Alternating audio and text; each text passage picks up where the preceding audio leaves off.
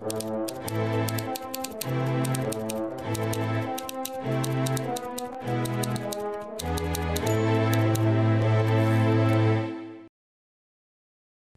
norske digter Arnulf Øverland har sagt, Al agitation for krig begynder med påstanden om, at den anden part truer freden.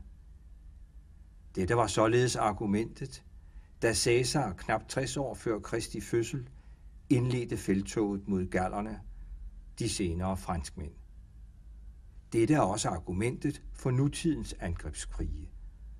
Og for Tyskland blev påstanden om, at de andre lande truede freden, optakten til Hitlers militære angrebskrige og starten på 2. verdenskrig. Som bekendt blev Danmark på under fire timer den 9. april 1940 besat af tyske tropper. I Norge, som også blev angrebet den 9. april, ydede man modstand i over to måneder. I Danmark baserede man sine relationer til den tyske besættelsesmagt på det, man benævner samarbejdspolitikken eller forhandlingspolitikken. Både et flertal blandt politikerne og et flertal i befolkningen stod bag denne politik. Samarbejdspolitikken gik ud på så vidt muligt at holde Danmark uden for krigen og efterkomme de tyske krav og ønsker i den udstrækning, de ikke stred mod grundloven. Samarbejdspolitikken blev sat på en hård prøve i 1941 med den såkaldte kommunistlov.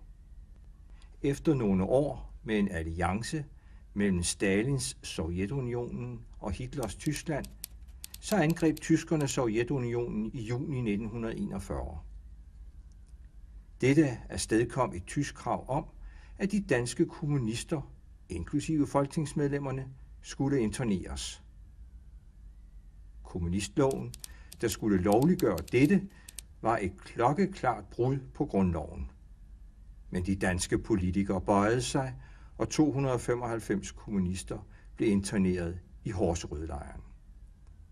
Der er ingen tvivl om, at interneringen og kommunistloven var stærkt medvirkende til, at kommunisterne kom til at indtage en fremtrædende rolle i modstandsbevægelsen.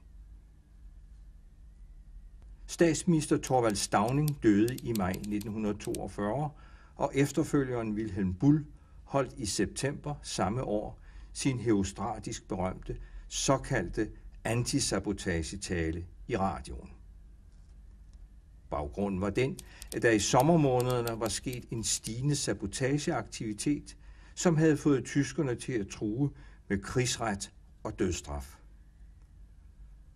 Bull appellerede i sin tale til befolkningen om at hjælpe til i kampen mod sabotørerne og betonede, at den, som begår sabotage eller hjælper med hertil, eller over for myndighederne tilbageholder viden om sabotageplaner, eller undlader at medvirke til opklaring af sabotage, handler mod fædrelandets interesser. Men sabotageaktiviteterne og modstanden mod tyskerne tog til. I begyndelsen af august 1943 var stemningen på bristepunktet med betydelige strejker i flere byer. Under disse strejker virkede blandt andet aktive grupper og illegale blade til at puste til ilden og organisere strækkeforløbet. Styringen var taget ud af hænderne på politikerne, og grunden under samarbejdspolitikken skred. Fra tysk side kom der et ultimatum om mødeforbud, strækkeforbud, forsamlingsforbud, udgangsforbud, pressecensur, oprettelse af særdomstole og nok så afgørende dødstraf for sabotage. Den danske regering sagde nej, og brudet den 29. august 1943 med Tyskland blev klart både for danskerne og omverdenen. Der blev i stigende omfang dannet sabotagegrupper, også på Østerbro. Men ved siden af denne mere spektakulære og voldsomme modstandskamp, havde der længe foregået en mere sej kamp mod besættelsesmagten med ordet som måben, den illegale presse. Den illegale presse holdt danskerne orienteret om krigens gang og forholdene i fædrelandet. Den illegale presse holdt udlandet orienteret om, hvad der skete i det besatte Danmark.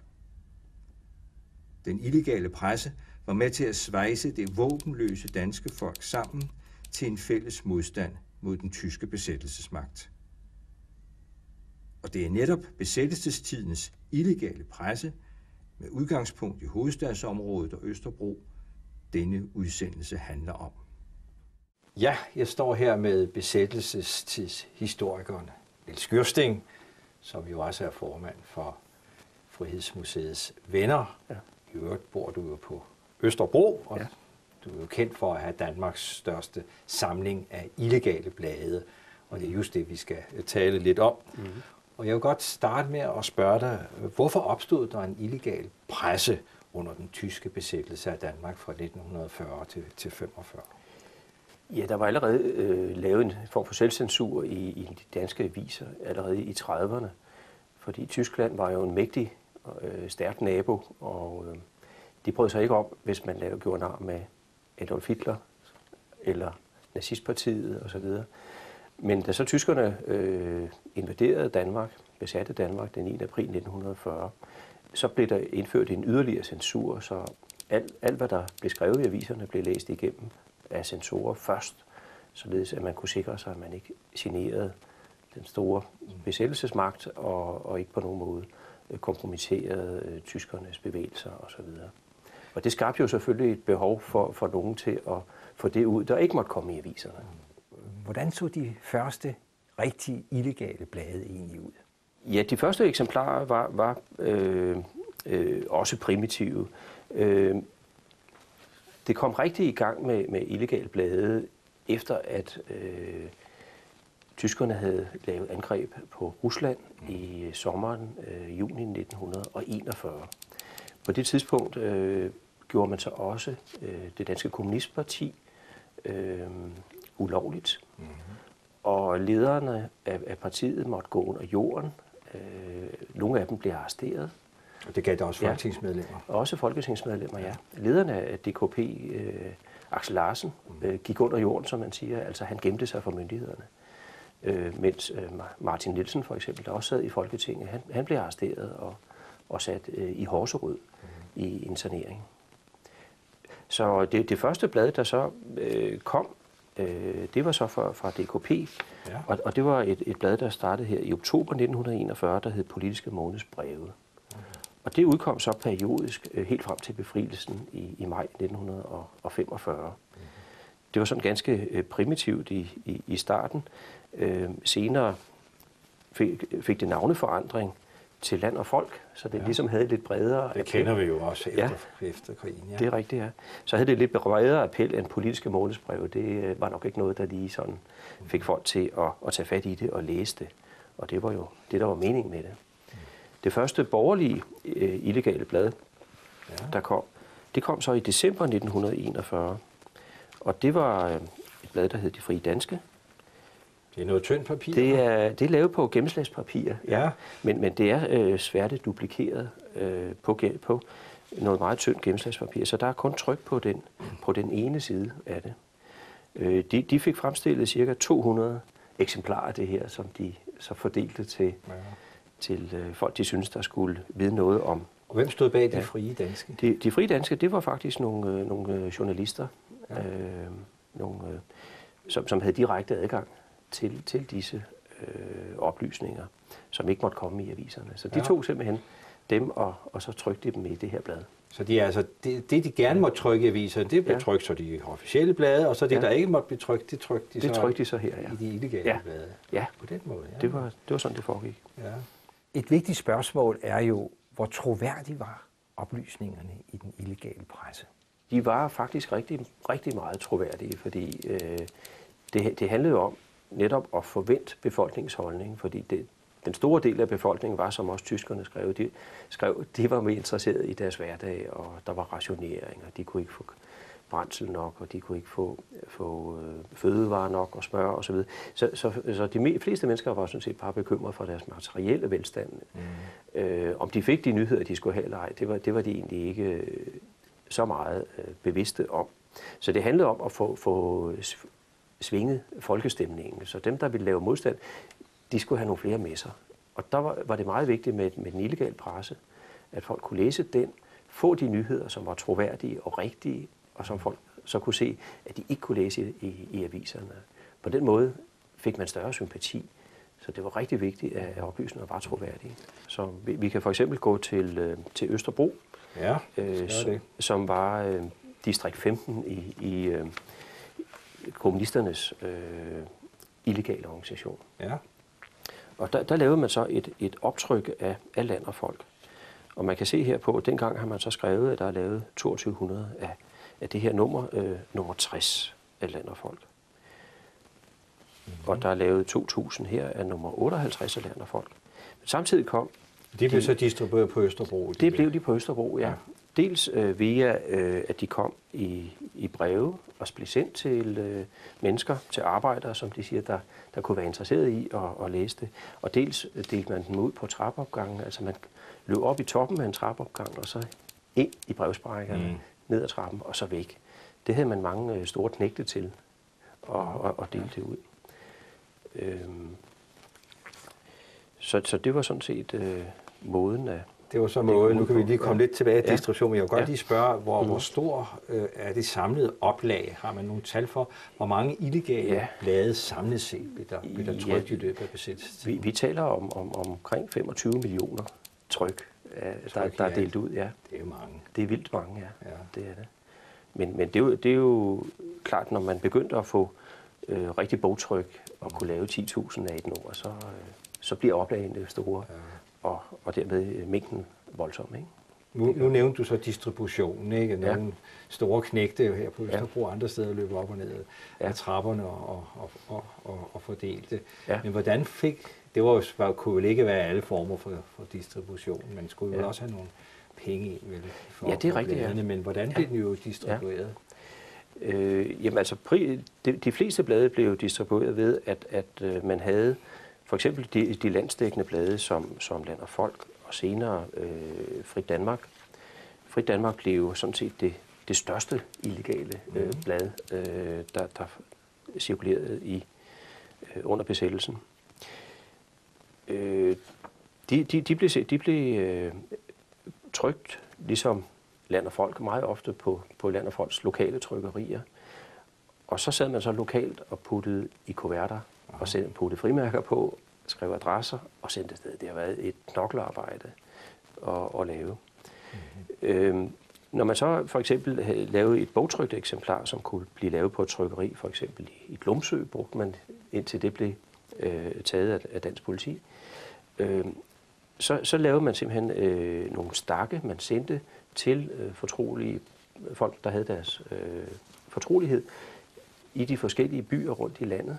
Der fik de altså simpelthen en stak, og så må de selv sidde via telefonbogen eller andre adresser, øh, lister, og så fordele det videre øh, lokalt. Så det, det var måden. Det Men var det ikke lidt farligt at bruge øh, postvæsenet? Altså, man kan jo tænke Ja. sig, at tyskerne de tog sådan lige alle brevene og Ja. sorterede op, og så kunne de jo så se, hvem det, det Ja. der illegale blad blev, Det er rigtigt, blev ja. sendt til. Ja, altså det, dengang brugte man jo meget mere postvæsenet end i dag. Altså der, der var rigtig mange øh, blade. Så jo, det var farligt. Øh, det var farligt, fordi når man så havde siddet og lavet sådan en stak kuverter, øh, så skulle det jo videre til postkassen, og, og det var jo mistænkeligt at gå med sådan en stor stak. Så, mm.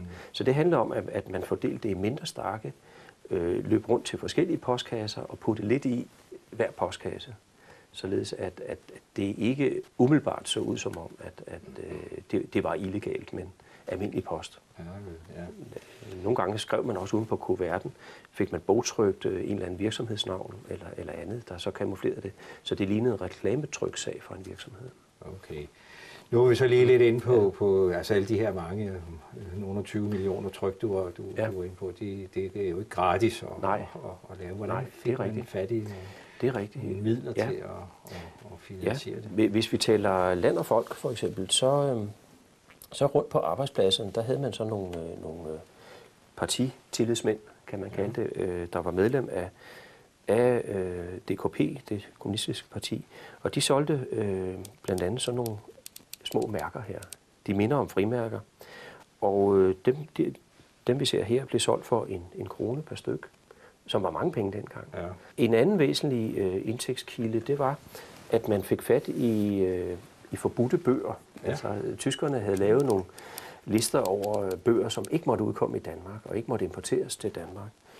Og der er for eksempel et eksempel her. Øh, Howard K. Smith, øh, en amerikansk øh, korrespondent i Berlin, han øh, blev, da øh, amerikanerne blev indblandet i 2. verdenskrig ja. i december 41, ja. øh, sendt øh, ud af Berlin. Og han lavede så et manuskript, der fortæller om, hvordan øh, den tyske, øh, tyskerne opførte sig øh, i, i Berlin. Der blev jo også produceret illegale plakater, og du har jo nogle strålende eksemplarer med her. Ja, jeg har taget et par stykker med øh, ja. her, hvor det handler om at, at opildne befolkningen til at støtte modstandsbevægelsen. Hvor den første her, det er så arbejderen, der skal knuse med hammeren hagekorset her, knus nazismen. Øh, den anden opfordrer til, til sabotage. Gør du din indsats for Danmarks frihed, og så putter man sand i smørolien hen på fabrikken.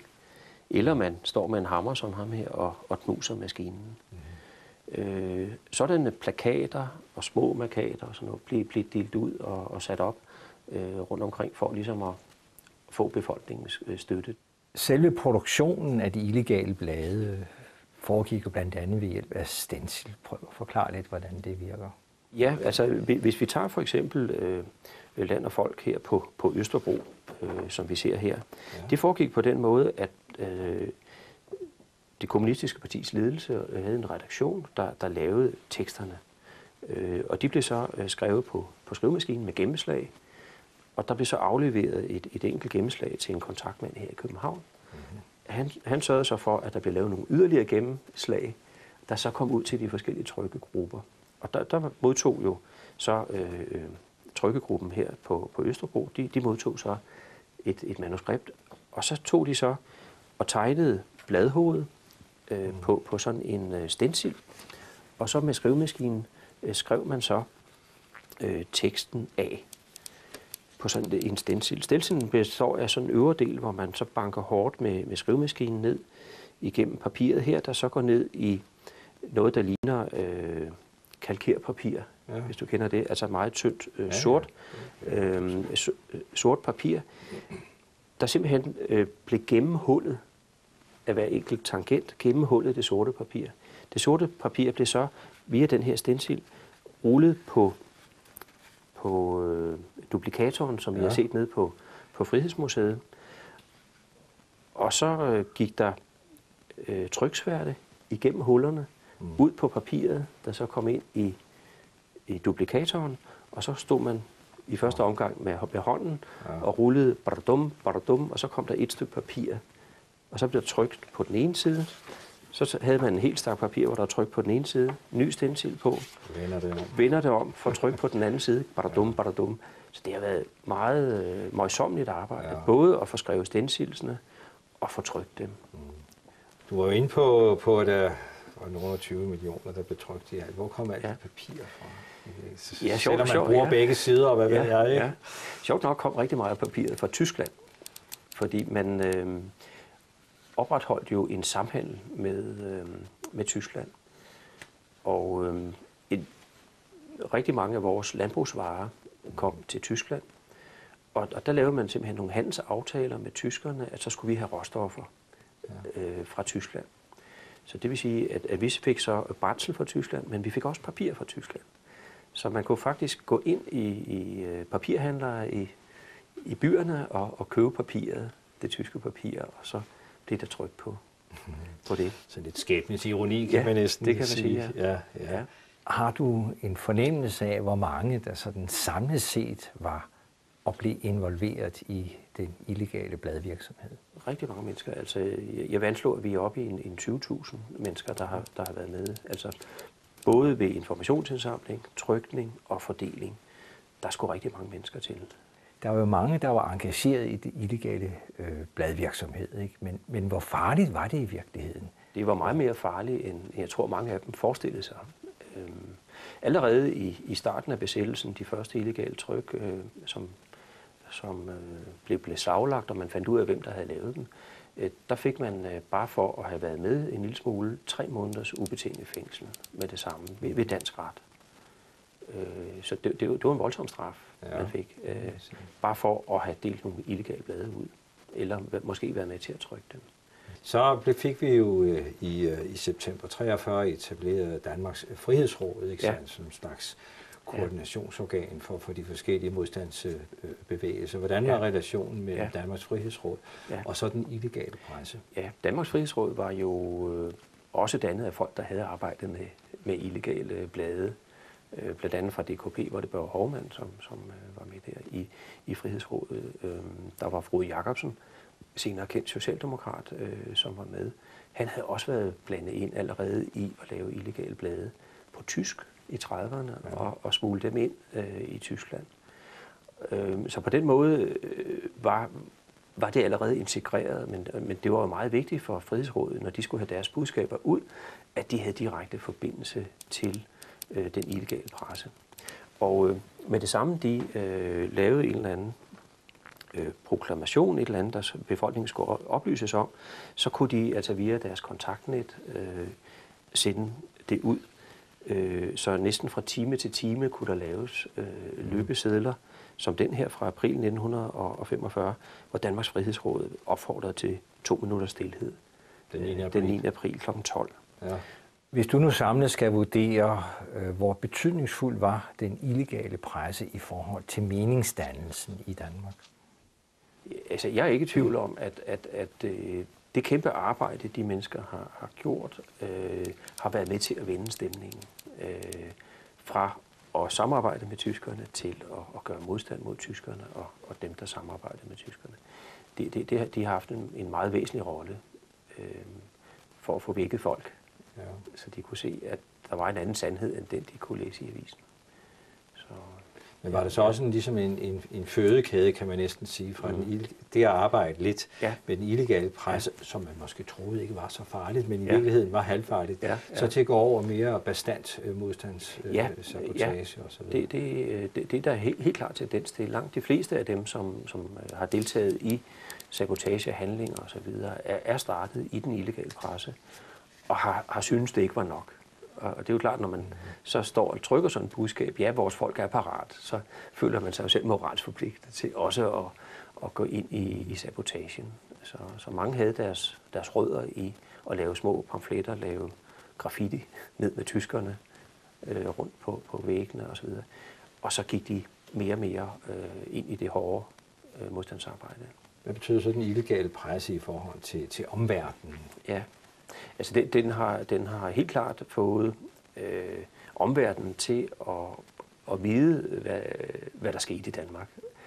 Øh, I og med, at man lynhurtigt kunne få oplysningerne om en sabotage eller, eller andet videre øh, til den frie verden, øh, til øh, Sverige, til London og videre til USA, så har det jo været med til at, at vise øh, udlandet, at, at danskerne også var med i kampen mod tyskerne. Så det har været med til at vinde den øh, stemning, som jo i udlandet var, at danskerne så var jo Hitlers kanariefugl, da de, ja. de samarbejdede bare med, med tyskerne, til at de lige pludselig fik øjnene op for, at der blev lavet sabotage i Danmark, og man direkte modarbejdede tyskerne. Og, og det er jo den illegale presses store fortjeneste. Så vil jeg godt spørge dig personligt, hvorfor synes du, det er så interessant at fordybe sig i den illegale presse under den danske besættelse? Altså, jeg er meget fascineret af den øh, ildhu og, og, og, og alt det, man har, har, har gjort for at kunne, kunne få ord ud, at folk har sat livet på spil for at, at trykke den her tryksag. Altså det, det, øh, det appellerer til, til min fantasi, og, og det, det, er, det giver respekt øh, øh, hos mig.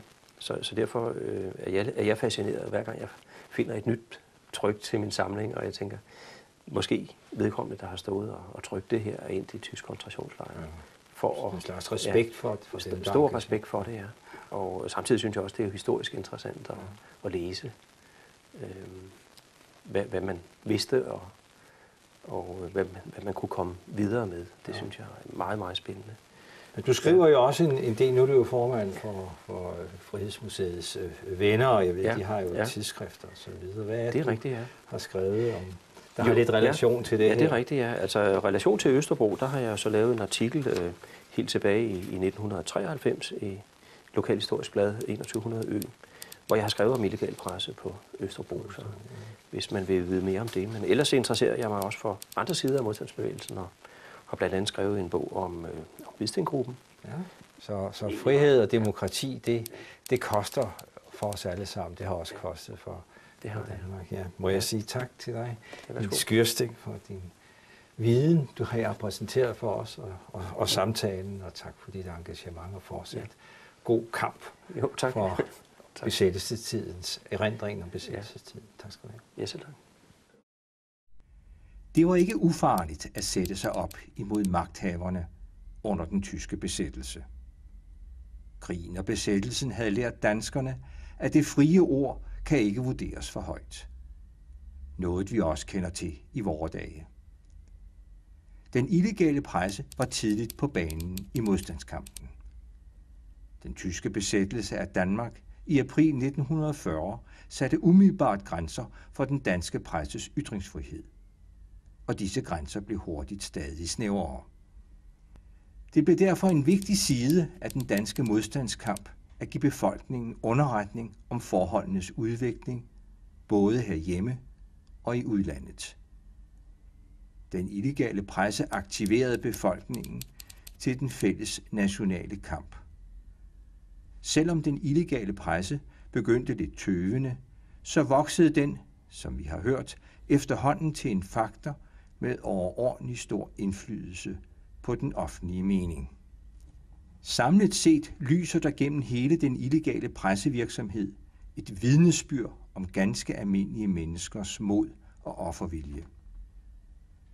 Med duplikatoren og skrivemaskinen som eneste våben, var den illegale presse med til at svejse det våbenløse danske folk sammen til en fælles kamp mod den tyske besættelse og dens danske håndlangere. Og hvorfor gjorde de det, disse hverdagens helte i kampen for Danmarks frihed og selvrespekt? Hvorfor gjorde de det? Svaret er måske ganske simpelt. De kunne ikke lade være.